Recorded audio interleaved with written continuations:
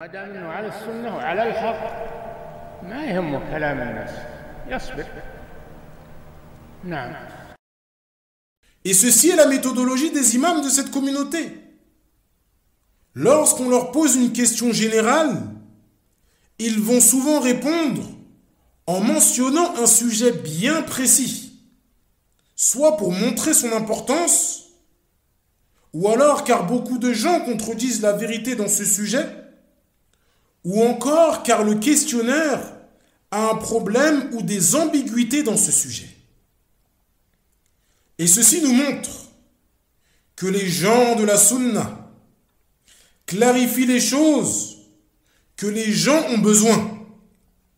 Contrairement à ce que peut dire les gens de l'innovation qui prétendent que les gens de la sunna ne savent pas ce dont les gens ont besoin et qu'ils ne font rien pour remédier à la faiblesse de la communauté.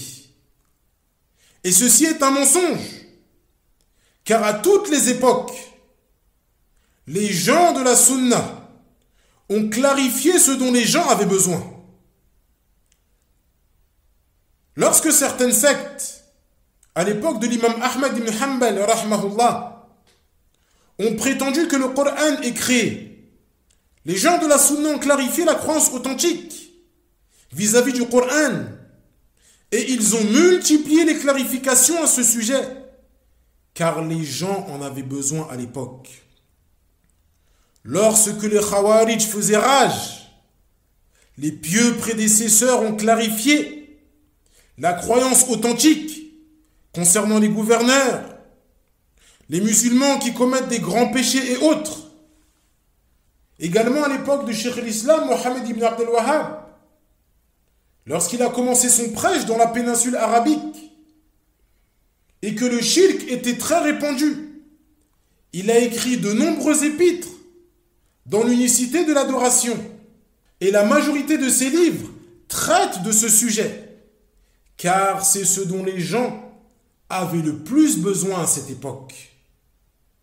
Quant à la parole des frères musulmans, que les gens de la sunna ne font rien pour remédier à la faiblesse de la communauté, ceci est certes une parole très étonnante. Et cette parole montre à quel point leur compréhension est erronée. En effet, pour beaucoup d'entre eux, remédier à la faiblesse de la communauté réside dans les manifestations pour la Palestine et parler sur les gouverneurs musulmans. Alors que les gens de la Sunna se basent sur des preuves irréfutables pour dire que la réforme de la communauté passe par le tawhid et la croyance authentique. Et si cette communauté se cramponne à la croyance authentique, Allah lui donnera force et suprématie. Allah Azzawajal dit dans Surat An-Nur وعد الله الذين آمنوا منكم وعملوا الصالحات لا يستخلفنهم في الأرض كما استخلف الذين من قبلهم ولا يمكنن لهم دينهم الذي ارتضى لهم ولا يبدلنهم من بعد خوفهم أمنا يعبدونني لا يشركون بي شيئا Allah subhanahu wa ta'ala dit selon le sens Allah a promis à ceux d'entre vous qui croient et accomplissent des œuvres pieuses de leur donner pouvoir sur terre, comme il l'a donné à ceux qui les ont précédés, de donner force et suprématie à la religion qu'il a agréée pour eux, et de les faire passer de la crainte à la sécurité. Ceci, car il m'adore et ne m'associe rien. Néanmoins, les frères musulmans veulent que les gens de la sunna les suivent dans leur égarement. Mais bien évidemment, les gens de la sunna refusent catégoriquement cela.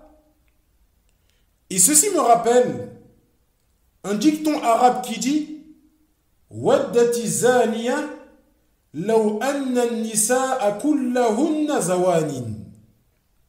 La fornicatrice veut que toutes les femmes soient des fornicatrices. La fornicatrice ne veut pas être seule à être pointée du doigt comme étant une fornicatrice. Ainsi, elle veut que toutes les femmes soient comme elle. Pour qu'elle puisse dire, ne me blâmez pas. Elles aussi sont des fornicatrices. Il en est de même pour les frères musulmans. Ils corrompent sur terre. Ils ne veulent pas être les seuls à être vus comme des corrupteurs. Ainsi, ils veulent que les gens de la sunna les rejoignent dans cela, pour qu'ils puissent dire, regardez, nous ne sommes pas les seuls à nous révolter contre les gouverneurs musulmans et autres. Cependant, les gens de la sunna refusent cela.